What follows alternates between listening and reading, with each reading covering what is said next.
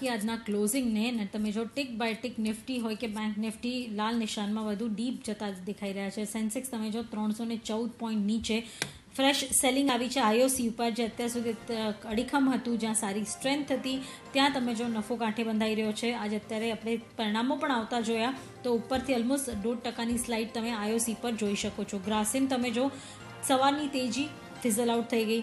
BPCL તમે જો સવારથી પોઝિટિવ હતો, ત્યાં ફિઝલ આઉટ થતું દેખાયું છે.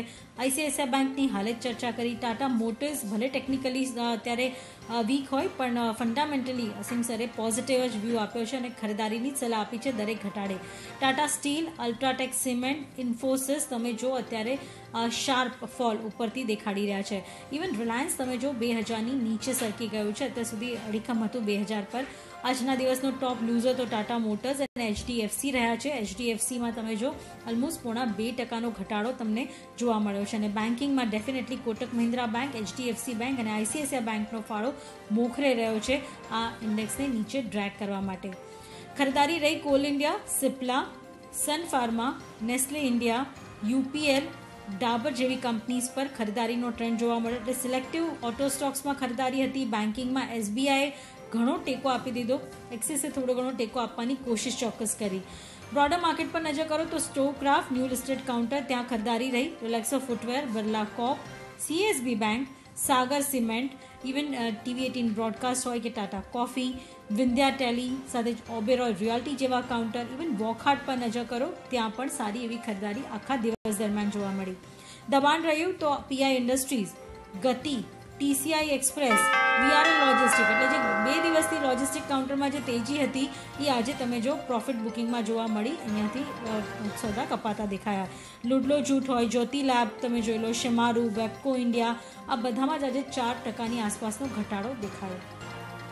તો પંદર હજાર વીસ પર નિફ્ટીએ ક્લોઝ આપ્યું છે. બેંક નિફ્ટી તેત્રીસ હજાર છસો ને સાહીઠના લેવલ પર ક્લોઝ આપતું દેખાયું છે. તો બસો સાહીઠ પોઈન્ટના દબાણ સાથે બેંક નિફ્ટીએ ક્લોઝિંગ આપ્યું છે અને નિફ્ટીમાં અડધા ટકાના ઘટાડાના ટ્રેડ ક્લોઝિંગ સમયે આપણને જોવા મળ્યા છે. માર્કેટ બ્રેથ પોઝિટિવ રહી છે. આ એક સારા સંકેત છે કે બે જ સ્ટોક વધતા ને એક સ્ટોક ઘટતો દેખાયો છે. પણ મેઇન તો કંઈક આવતીકાલનો ટ્રેડ હશે કારણ કે આવતીકાલે ગુરુવાર એટલે કે વીકલી ઓપ્શન્સ એક્સપાયરીનો દિવસ છે. કૃણાલ નિફ્ટી અને બેંક નિફ્ટી માટે આવતીકાલની સ્ટ્રેટેજી સુનિશા વીકલી એક્સપાયરી થોડી ઘણી પેનફુલ થાય છે બીકોઝ બહુ શોર્ટ ટર્મ ટ્રેડર્સ માટે આ બેનિફિટ છે. પોઝિશનલ ટ્રેડર્સ માટે થોડું રિસ્કી બની જાય છે. બટ યસ આપણે જો નિફ્ટીના લેવલ્સની વાત કરીએ તો આપણે શોના શરૂઆતમાં પંદર હજાર પાંત્રીસના સપોર્ટની વાત કરી હતી. નિફ્ટીએ ડિસાઇઝિવલી એની નીચે છેલ્લી પંદર વીસ મિનિટમાં ફોલ આપ્યું છે.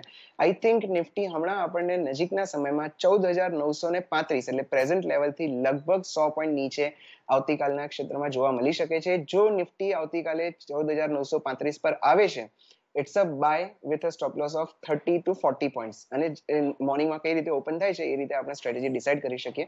પણ ચૌદ હજાર નવસો પાંત્રીસ બાઇંગ ઝોન રહેશે. સેમ વિથ બેંક નિફ્ટી તેત્રીસ હજાર ત્રણસો પચાસ ના લેવલ્સ એના માટે બાઇંગ રહેશે. જો આવતીકાલે ગેપ ડાઉન થાય છે, તો આ બંને લેવલ્સ પર બાઇંગ કરવાની સલાહ બને છે મિનિમમ સ્ટોપ લોસ બનશે અને જો આજનું જે ફોલ આવ્યું છે, એ આખા રિકવર થવાના પૂરેપૂરી શક્યતા છે એ રીતે હમણાં ચાર્ટ પર દેખાઈ રહ્યું છે. ઓકે તો લેટ સી આવતીકાલે વીકલી ઓપ્શનની એક્સપાયરી પણ છે અને જે પ્રમાણેના એક્શન આપણને દેખાયા છે, બે દિવસની તેજી બાદનું જે એક કરેક્શન ડ્યુ હતું, એ કરેક્શન આપણને આવતું દેખાયું છે. પણ મહત્વના જે લેવલ્સ છે પંદર હજારની ઉપર નિફ્ટી અને બેંક નિફ્ટી તેત્રીસ હજાર પાંચસોની ઉપર ક્લોઝ થતા દેખાયા છે. તો આવતીકાલે શોર્ટ કવરિંગ તરફનો મૂવ આવે છે કે પછી અહીંયાથી વધારે વેચવાની તરફનો મૂવ આવે છે, એના ઉપર ખાસ ધ્યાન રાખતા રહેશું. તો એ સાથે જ કુનાલ અને અસીમજી, આપ બંનેનો ઘણો આભાર. આપનો સમય ફાળી અમારી સાથે જોડાયા અને સમગ્ર ચર્ચા કરી એના માટે. અને સાથે હાલ મને નિશાને પણ આપજો રજા આગળ અપડેટ માટે જોડાયેલા રહો. સીએમબીસી બજાર સાથે. નમસ્કાર.